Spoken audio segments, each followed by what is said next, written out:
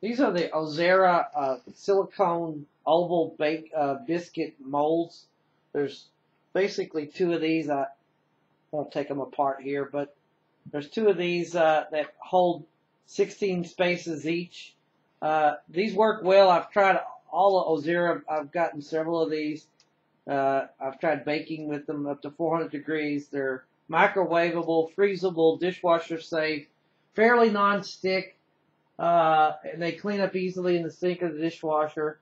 And all these are good quality and work well. Uh, for some people, these may be a little too flexible uh, for use without a pan underneath them. Uh, but I give these five stars.